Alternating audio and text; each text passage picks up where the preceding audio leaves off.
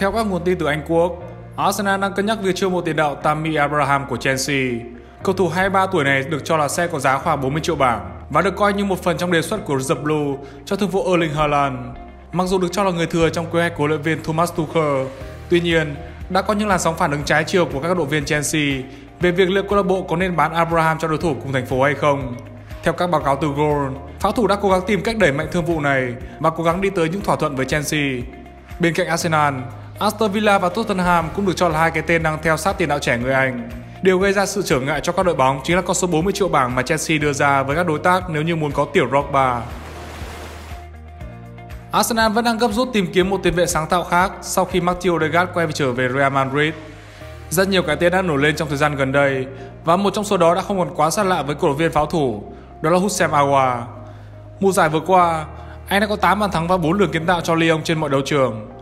Vì ảnh hưởng của đại dịch Covid-19, đội bóng nước Pháp buộc phải giảm giá ngôi sao của họ. Theo đó, sư tử sông Rôn sẵn sàng để Awa ra đi với mức giá chỉ 21 triệu bảng.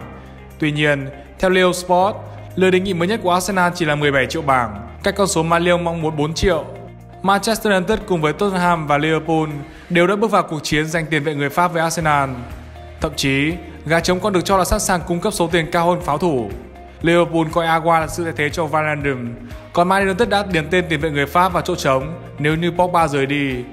Rõ ràng Arsenal nên tỏ ra sự quyết tâm trong thương vụ này nếu như không muốn lại một lần nữa bị gắn mác ông Hoàng quan tâm.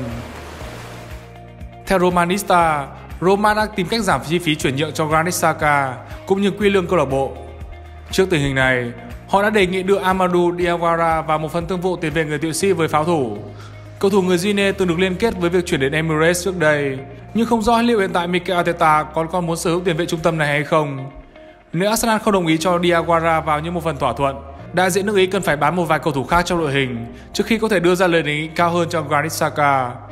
Ở tuổi 23, Diawara đã chơi 58 trận trong hai mùa giải khoác áo câu lạc bộ thành Rome, đóng góp cho mình hai bàn thắng. Mới đây, trang chủ Arsenal đã đăng tải thông tin chính thức trung vệ William Saliba đã gia nhập Olympic Marseille dưới dạng cho mượn một năm và không kèm điều khoản mua đất. Đây là đội bóng thứ ba cầu thủ người Pháp cập bến kể từ khi ký hợp đồng với pháo thủ sau Saint Etienne và Nice. Tuy nhiên, đến mùa giải năm nay, anh vẫn chưa nằm trong những tính toán nhân sự của huấn luyện viên Mikel Arteta. Lý giải về việc tiếp tục cho Saliba rời Emirates theo dạng cho mượn, giám đốc kỹ thuật Edu Gaspar cho biết. Với trường hợp của Saliba, chúng tôi muốn cậu ấy có thêm cơ hội ra sân để tiếp tục phát triển bản thân trong tương lai gần. Cậu ấy gia nhập Arsenal khi mới 18 tuổi và giờ thì đã bước sang tuổi 20. Vẫn còn rất nhiều thời gian để Saliba phát triển mình. Cậu ấy là một trung vệ có tiềm năng và sẽ còn tốt hơn nữa sau khi chinh chiến ở Marseille, một câu lạc bộ có điều kiện tốt. Thi đấu ở một giải đấu hàng đầu như Ligue 1 sẽ là một cơ hội tốt cho Saliba. Chúng tôi sẽ luôn giữ liên lạc với cậu ấy và xin chúc Saliba những điều tốt đẹp nhất khi đến thi đấu ở Pháp trong máu của Marseille.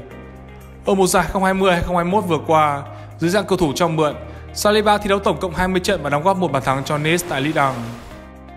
Sau trận chung kết Euro giữa Anh và Italia, hàng loạt lời chỉ trích nhắm vào Marco Rashford, Jadon Sancho và Bukayo Saka vì đã đá hỏng 11 m khiến Tam Sư không thể lên ngôi vô địch.